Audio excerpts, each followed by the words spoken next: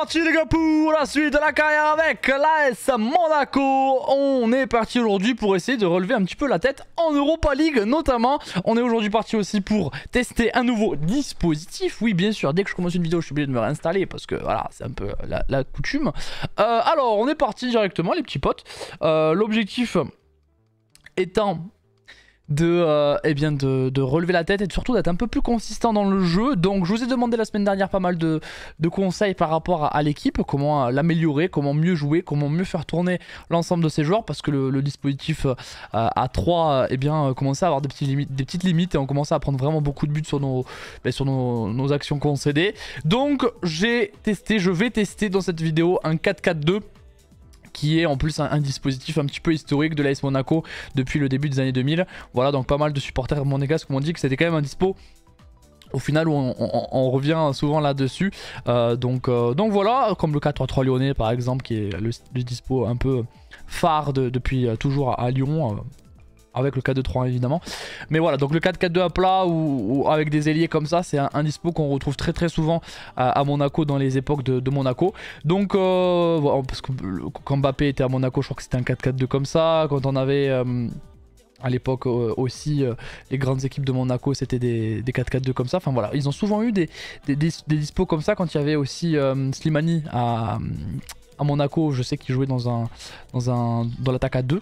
Donc euh, donc voilà, on, est parti donc avec cette équipe là, Klosterman Badiachil en défense centrale. Je ne mets pas Badiachil et Dissazi parce que bah, ce serait trop lent je pense en défense centrale.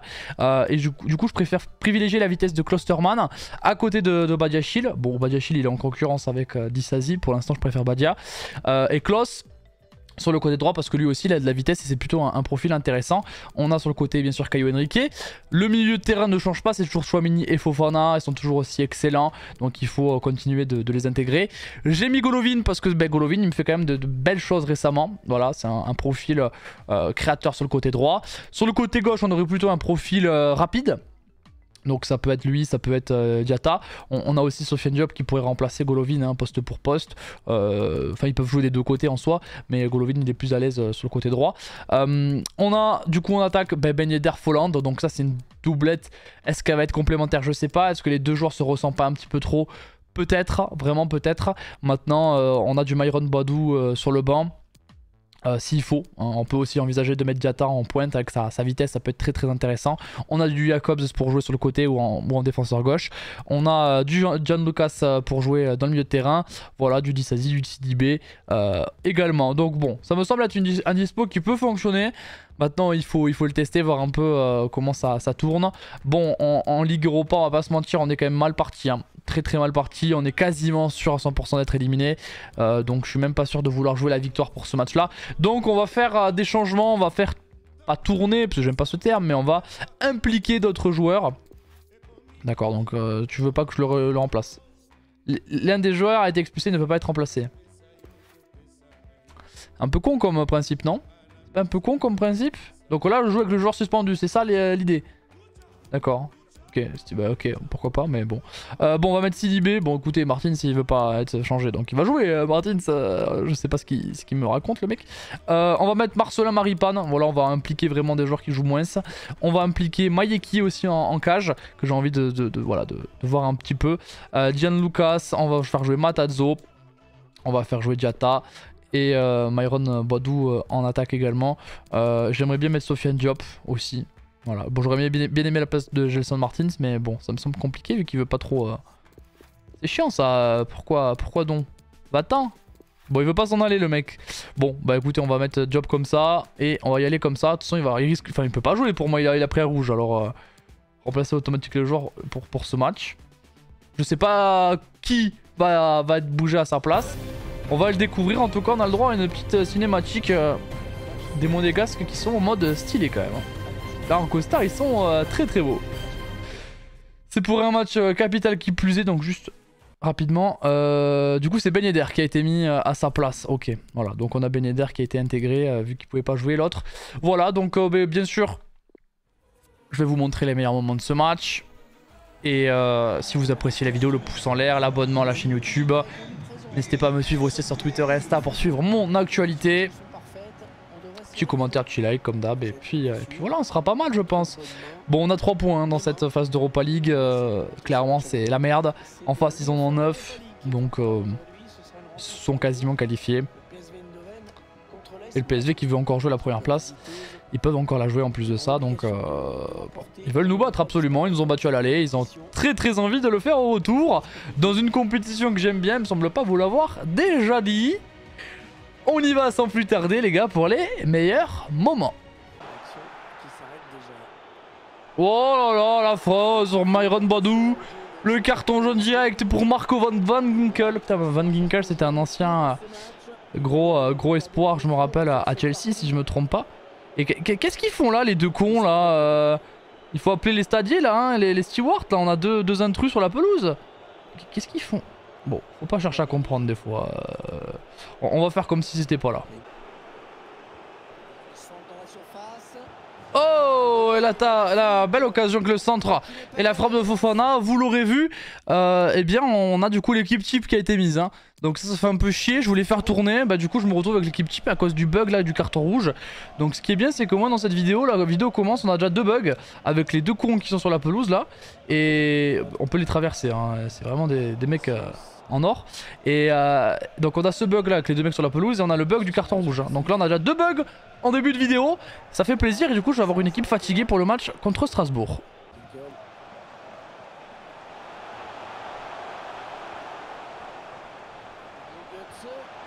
Oh bah quel but Ah bah oui tiens Ah bah oui L'ouverture du score du PSV par Mario Götze dans un match bizarre. Hein, oui. Ah, entaché de bugs au début, c'est vrai que ça me dégoûte un peu pour commencer la vidéo. J'avais beaucoup d'envie, mais là, forcément, tu commences avec des bugs, des trucs, c'est chiant. Euh, c'est chiant, on n'a pas envie. Et puis là, euh, on fait une interception. D'ailleurs, on n'arrive pas à récupérer le ballon. Et Götze fait un but phénoménal. 1-0. Oh, ça peut faire but Oh, le deuxième de Gozo, bah oui, tiens. Allez, 2-0 pour le PSV. On est éliminé de l'Europa League, c'est certain maintenant. Et on devra aller chercher une place en, barrage de Conférence League lors de la dernière journée face à Stormgraz. Bon, là. Ouais, là. là, on se fait avoir à Tonade. Et 2-0. Mario Götze qui, retrouve son niveau. Euh, exceptionnel de, quand il est euh, champion du monde.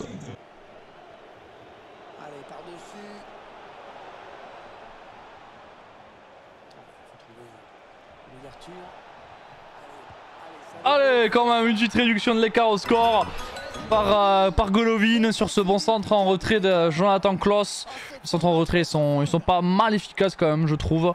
Bon, là, on arrive à, à concrétiser l'un de nos temps forts. Hein. On en a pas eu beaucoup, on n'a pas trop existé dans le match. On a été pas trop motivé, les joueurs étaient pas trop motivés pour le match.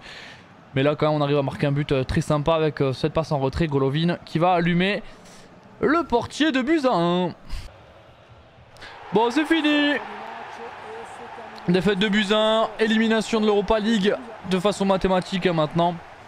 On est assuré de ne pas finir dans les deux premiers. On peut encore et on devra, on devra, il faudra finir troisième. À noter les expected goals encore une fois totalement en notre défaveur, enfin en notre faveur, mais le score en, notre défaveur, pardon. Voilà, ils mettent deux buts sur 0,4 chance de but. Bon voilà, c'est habituel finalement, deux frappes de but un côté euh, PSV. On va pas se plaindre parce que c'est habituel, hein. on n'a pas de réussite, ou alors ils sont tous euh, trop forts quoi en face, hein, c'est hallucinant. Bon, ce qui me, pose problème, c'est que je devais avoir une équipe reposée pour le match face à Strasbourg et ce ne sera pas forcément le cas. Bon, on n'est pas non plus trop crevé, mais je voulais vraiment une équipe pleinement en forme.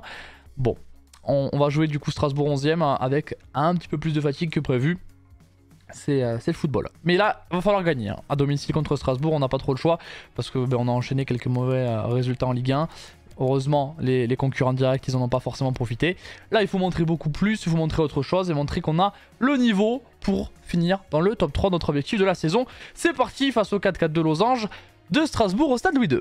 Allez, on est sous la pluie monégasque de la principauté pour ce Monaco-Strasbourg. Allez. Là, ça va être le vrai test de ce 4-4-2 avec... Euh, des joueurs, je l'espère, un peu plus impliqués. Et surtout avec tous les joueurs euh, disponibles, frais. Et puis il va falloir marquer son temps fort et, et essayer d'être un peu plus costaud et solide défensivement. On y va pour les meilleurs moments. Allez, le but de Chouameni Très rapidement dans ce match, 4 minutes de jeu, la tête d'Aurélien Chouameni 1-0 pour l'AS Monaco, le super centre de Jonathan Klaus qui commence très bien son match et il fait deux passer en deux matchs dans cette vidéo. Et ben voilà, 1-0. Ah, le décalage de Fofana vers Jonathan Klaus, le super centre. Et il s'était proposé à Chouameni. Et il va marquer, ça faisait un moment qu'il avait marqué, lui qui avait inscrit euh, beaucoup de buts en tout début de saison. Et eh bien là, il est de nouveau dans la surface efficace. J'espère que ce peut-être ce 4-4-2 va, va lui permettre d'être un peu plus proche de la cage, là où il est, euh, là où il est fort aussi, parce qu'il peut mettre des buts euh, à la fois de la tête et à la fois avec ses pieds. Quatrième but en Ligue 1 quand même.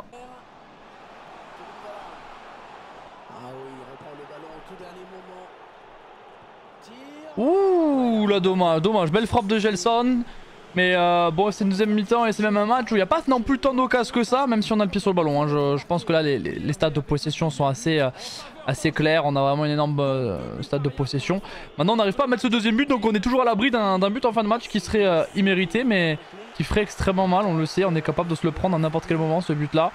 Donc à nous de, muscler notre jeu. La super frappe en lucarne d'Aurélien Chouameni pour s'en doubler Le doublé d'Aurélien Chouameni sur un service de Wissam Ben 2-0 pour l'AS Monaco. Le braque est fait, le temps fort est concrétisé. Alors on, attend de bien fixer Sissoko dans l'axe pour le décalage Chouameni qui envoie le ballon en lucarne. Et eh ben voilà, Aurélien se réveille dans ce 4-4-2, on le voit un petit peu plus là où il avait été un peu plus à la peine dernièrement au milieu de terrain. Voilà, mon milieu de terrain qui a tout fait dans le match, hein, je vous le dis. Mais un match euh, vraiment plutôt intéressant dans sa construction. Je suis assez content des joueurs. Ouh Gelson à plus de 30 mètres. Il va tenter une frappe en toute sérénité. Franchement, sa frappe, elle est pas si puissante que ça. Elle part bien quoi, elle part bien, elle part en lucarne en fait. Hein. Et le gardien qui est obligé de s'employer forcément, mais qui est étonné que sa défense laisse autant d'espace. Bon allez, je fais mes petits changements dans ce match. Euh, Fofana va sortir, on va faire rentrer euh, Gian Lucas. Et j'ai envie de faire rentrer Crépin Diata aussi pour euh, voilà, lui donner un petit peu de temps de jeu. Allez, petit corner aussi. Hein. Petit corner, on va essayer de trouver Chouameni hein, au second poteau, au fond là-bas. Mais non, ce sera plus pour Badia. Au-dessus pour Badia, mais c'était bien tapé.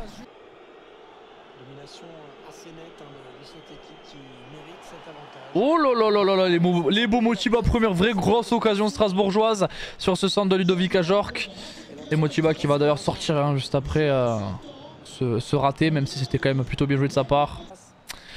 C'est terminé, victoire de l'AS Monaco à domicile au stade de face à Strasbourg. On regagne, ça y est, enfin. Avec un match plein, un match où on n'a pas concédé d'occasion. On a été très solide et on a, ben voilà, on a mis deux buts très, euh, très sympas. Euh, avec un doublé d'Aurélien Chouameni. Mais bon, voilà, une seule occasion de, Strasbourg, on l'a vu, celle de Lebo Motiba. Nous, on a été plutôt euh, efficace et puis surtout 67% de possession. Donc on n'a pas laissé Strasbourg espérer quoi que ce soit dans ce match. L'Olympique Lyonnais qui fait match nul, donc on va... Je sais pas si on les double, en tout cas on va se rapprocher. On va les doubler, non, on va égaliser euh, au, niveau des points euh, l'OL. Marseille qui est désormais premier avec 3 points de plus que Paris et 4 points de plus que Lyon-Monaco. On va jouer maintenant Angers, Angers qui est juste derrière nous, donc on, continue les matchs importants, hein, ça c'est clair, avec le, SCO juste, derrière. Et ensuite c'est Metz, c'est vrai que c'est très très resserré hein, là les matchs, euh, donc ça va être euh, sympa. Bon bah écoutez, on va y aller sans plus tarder. D'ailleurs je pense qu'aujourd'hui on va se faire euh, ce match contre le SCO et le match contre Metz. Comme ça la semaine prochaine on se finit le, le mois de décembre et ce sera la mi-saison. Voilà, je pense qu'on fait ça aujourd'hui, on fait encore deux matchs. donc on y va face au SCO, on a encore une fois un peu de fatigue, mais là on va, faire, on va essayer de tirer un petit peu l'effectif parce que euh, j'ai besoin d'avoir un, 11 de très haut niveau face à, face à Angers. Euh, attention parce qu'ils sont en 3-5-2, ça va pas être évident. Ça l'est jamais en même temps. On y va, on, réitère avec euh, la même équipe qui vient de battre Strasbourg. Allez, allez, allez, allez, c'est parti. Le SCO qui reçoit la S Monaco pour cette 16e journée de, de Ligue 1 Uber Eats. Allez, on va essayer euh, d'enchaîner hein, les succès, pourquoi pas, avec la victoire face à Strasbourg qui nous a donné de la confiance dans ce nouveau dispo en, 4-4-2. Ce serait bien de gagner Angers qui est à deux points de nous, parce que c'est un adversaire qui fait un, très bon début de saison, mais aussi pour notre confiance et, et pour la suite de la saison. On y va pour les meilleurs moments. Oh, Chouameni, elle, part vite. Hein. Elle part vite les frappes d'Aurélien Chouameni. On sent qu'il est en confiance, Chouameni, qu'il a envie de bien faire et qu'il a envie de marquer. On le sent en lui directement.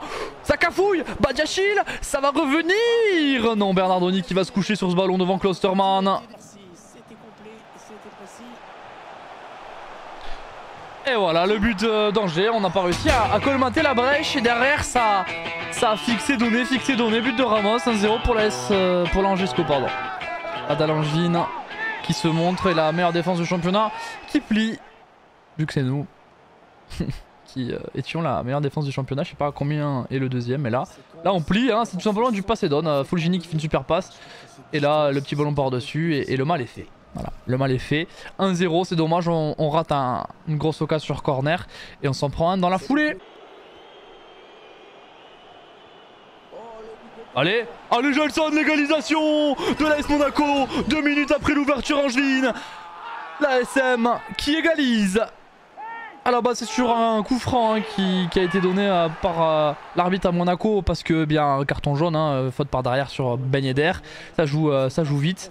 Et Golovin qui va donner un bon ballon à Gelson qui était parti et qui va finir, je crois d'un pointard.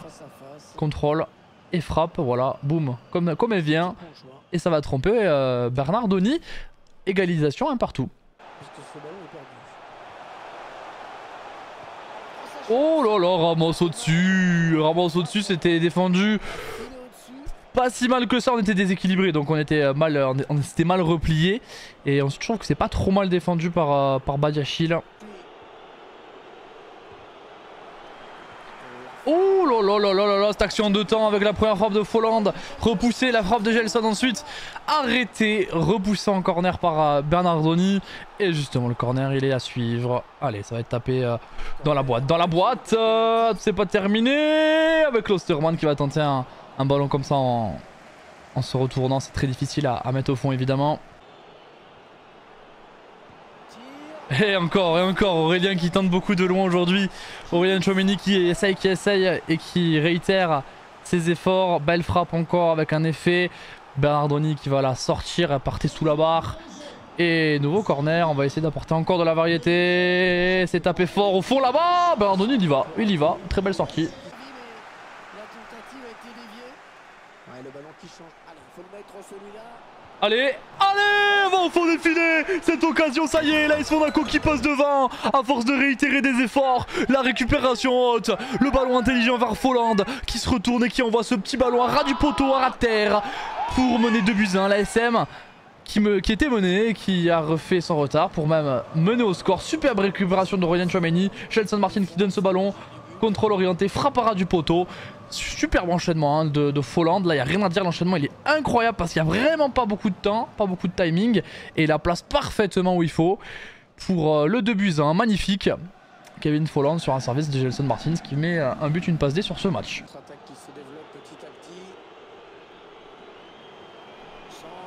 Allez, le doublé de Kevin Folland.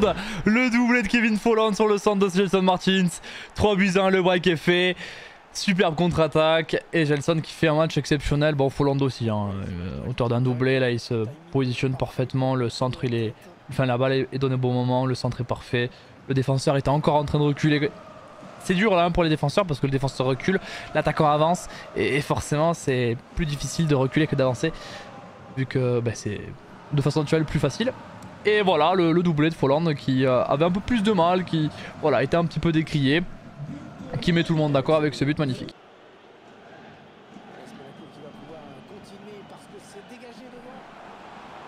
Oh, c'est à côté Myron Badou de la tête, euh, il a fait une mini-tête Myron, le super centre de Golovin. Et là, au lieu de mettre le pied, non, il veut mettre la tête. La tête, elle est sur le gardien. Ça a failli quand même mourir dans la cage. Finalement, corner. Corner dans la boîte, il y a beaucoup de monde et c'est Traoré qui va le dégager.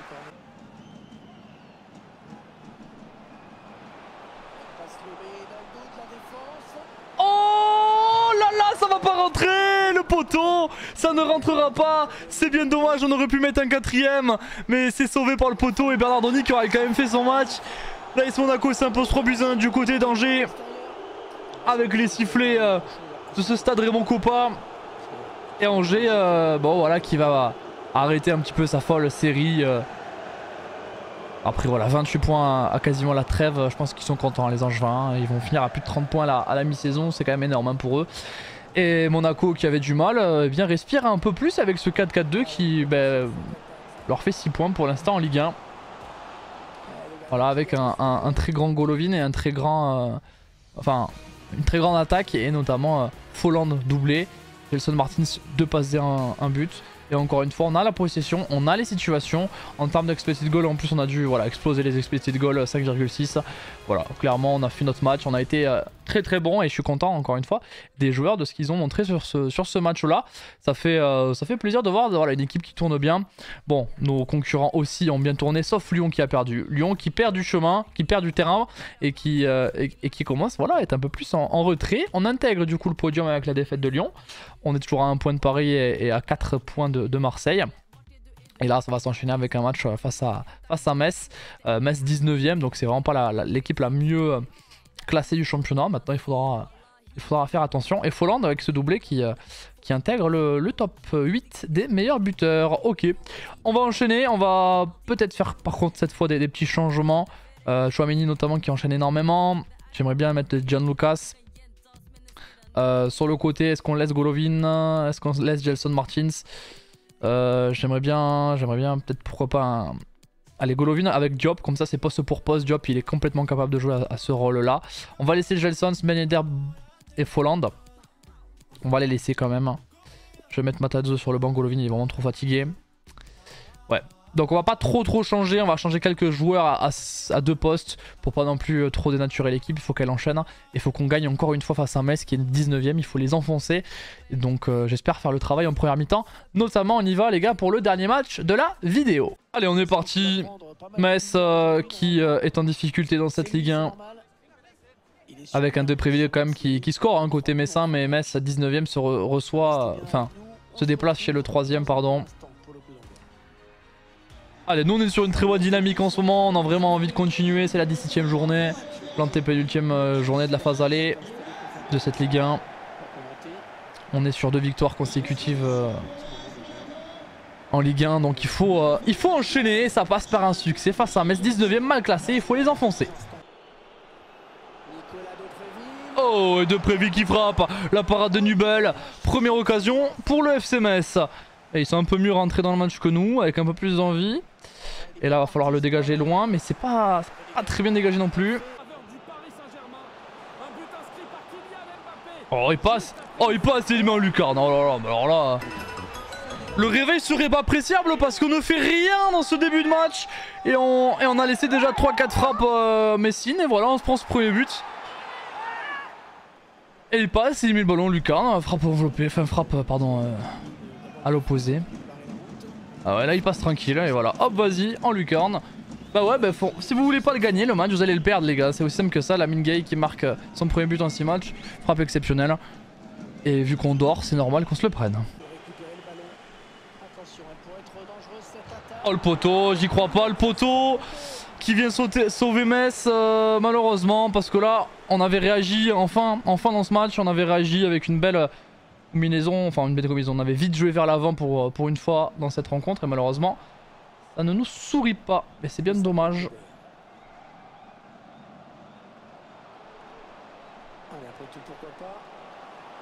Et encore un bon mouvement avec Sofiane Diop vers euh, Wissam Ben la parade du portier. Corner à suivre, Ben au-dessus. Oh, et encore, encore une occasion Messine avec Noble à la parade. Ça commence à le gonfler le gardien allemand parce que bah, il voit bien que son équipe elle y est pas dans ce match. Il le voit bien. Et Nubel qui, voilà, qui capte et qui fait vraiment tout dans le match pour essayer d'apporter un peu d'envie, d'ambition. Mais on l'a pas cette envie, cette ambition pour l'instant.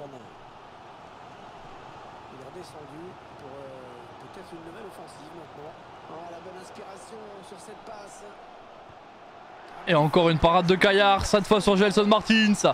Allez, il faut continuer.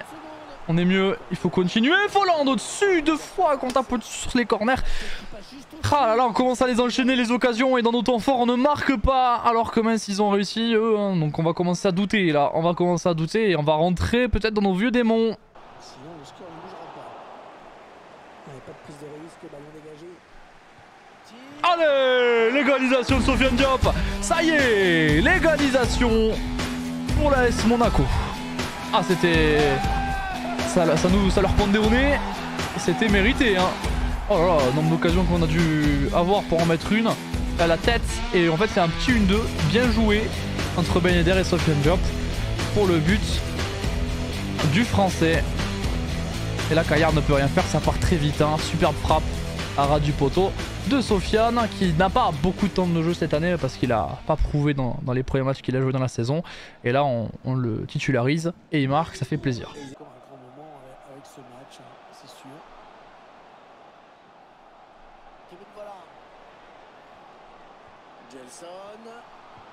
Allez, Kevin Folland Le 2 buts 1, 55 minutes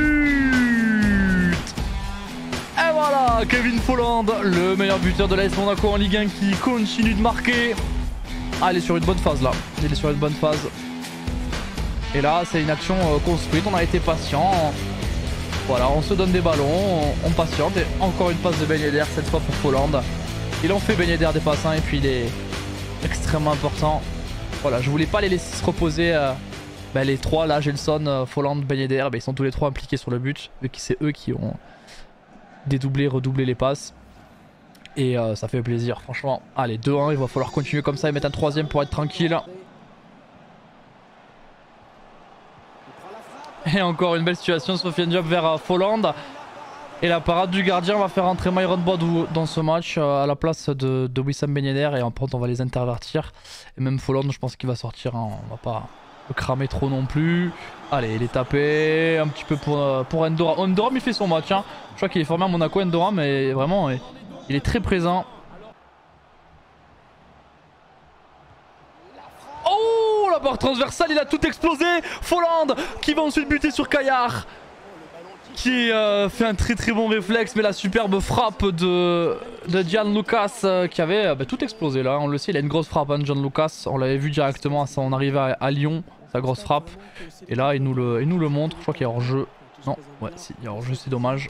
Et ce sera le dernier corner du match. Soit Metz égalise soit Monaco l'emporte.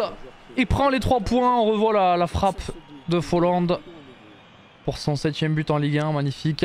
Allez, là, va falloir être solide, là. Va falloir être très solide. C'est la dernière du match. La toute dernière. Aïe, aïe, aïe! Putain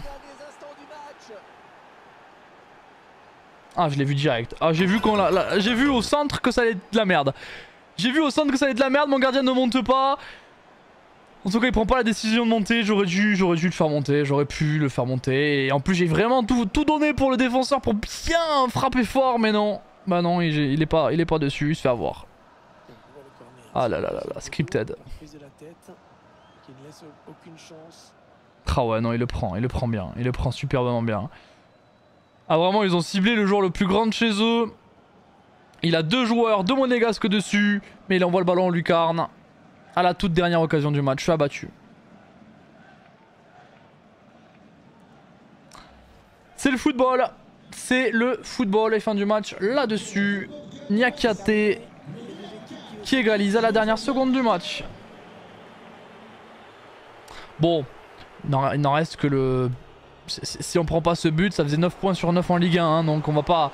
Voilà, on va pas être triste, on va pas insulter, on va pas dire des, mots euh, qui dépassent euh, ma pensée parce que j'en ai même pas en tête. On a encore une fois été euh, trop inefficace, on aurait dû mettre un peu plus de buts et on aurait surtout pas dû prendre le dernier. Voilà. Ça arrive encore une fois, c'était un bon match malgré tout.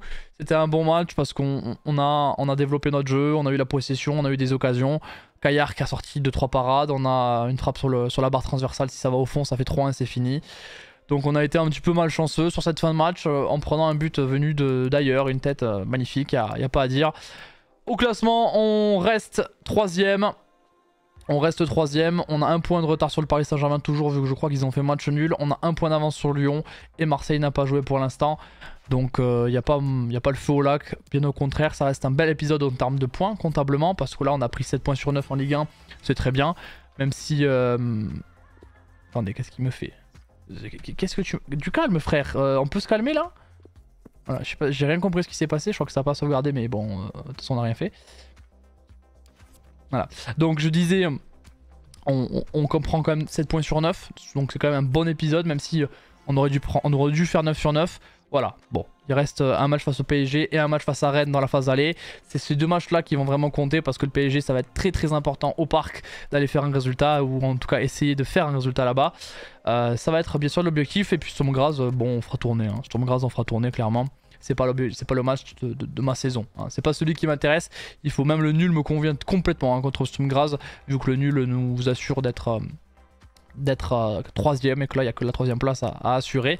Au niveau des stats, je vous montre euh, ce qui s'est passé. On a le meilleur buteur de la saison pour l'instant. Et eh bien, vous le voyez, c'est Kevin Folland avec ses 7 buts et ses 4 passes D. Donc voilà, il fait vraiment sa saison, Kevin Folland, 7 buts en Ligue 1, 4 passes D en Ligue 1.